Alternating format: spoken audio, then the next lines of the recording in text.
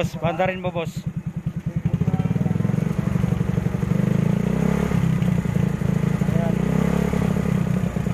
Ayan. Yung tunog sa makina na tatry natin paggamit ng ano, lalagyan natin ng restore oil. Sige boss, pagkipatay boss. Gawin ko na. Oo, lagyan mo boss dalawa. Ano yun? Naka-plastic yan boss.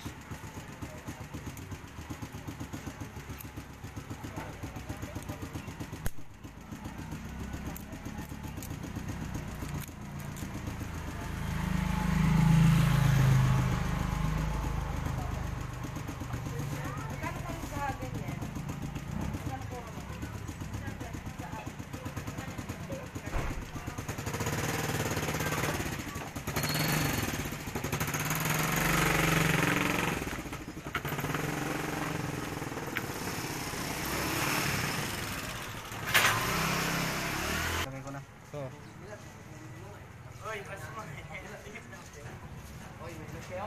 Uy, Ring! Wag, Ring! Dati! Uy, Ring! Uy, ka na! oil.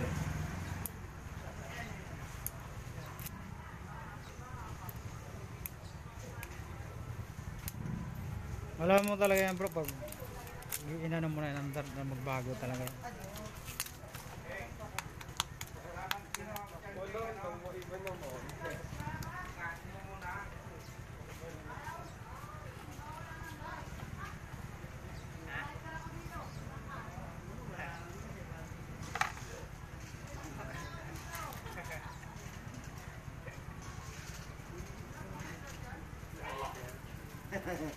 yan.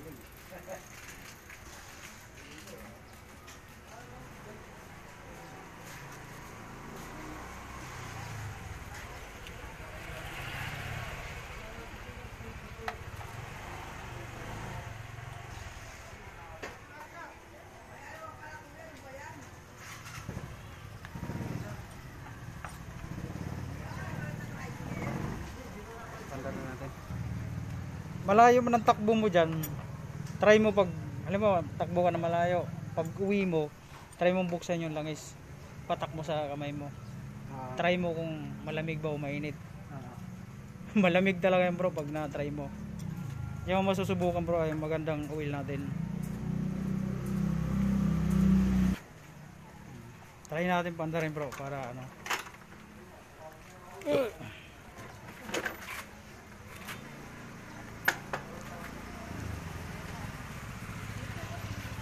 Sana po, susubukan yung paganda niya.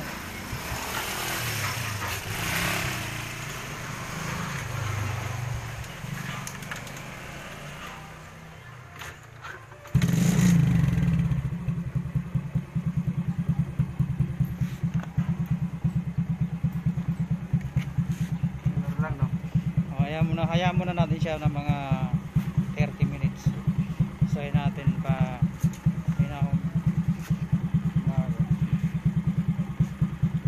Tsaka iba yung takbo yan bro, pag na ano natatakbo talaga niyan, makit maramdaman mo talaga na pag tumakbo ka na ng malayo, ramdam yung pagbabago na lumakas ang ano mo.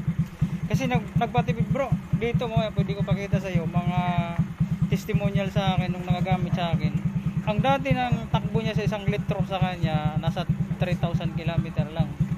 Pero ngayon umabot siya ng 5,000 kilometer isang litro niya. Grabe na. Yan bro, pinapatipid talaga niya yung oil mo. Kaya sa kanya ginamit niya yun. Talagang change oil siya bago lahat. Sabi niya, i-change oil ko talaga bro kasi sayang. Kasi pag nagamit niya bro, alam mo, pag ginamit mo na yan, wala kasi change oil yan sa oil mo. Pag gamit mo sa sunod, di ba, mag ano, mag change oil ka. Pag gamit mo change oil sa sunod, ang gamit mong langis, regular, huwag mong kalimutan. Kasi gamit ka, regular. Para ang ano natin, ang synthetic kasi bro, na ano talaga pag. Kaya bro, lilinisin kasi niya yung mga ano sa mga dumi-dumi sa makina mo. Lilinis niya yung mga ano niya, carbon kinukuha niya. Kaya mga kadalasan sa atin na ang makina natin umihina, kasi once may carbon na medyo sumisingaw na yan yung compression niya, nababawasan. So dito talagang pinaano niya ano niya sa makina niya.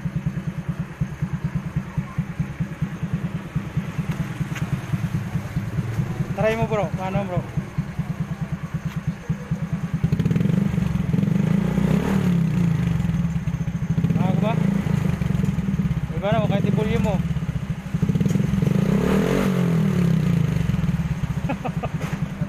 Bago no.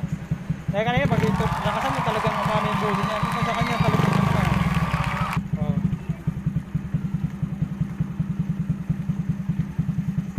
Ayan mo. Diba? Iba yung pagbabago. Oo, nagbago nga yung ano yun.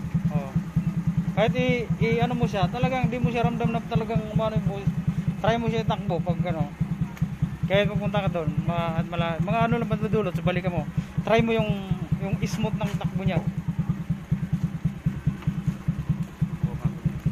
Try mo. Kahit abot na dulo, di ano mo yung takbo niya.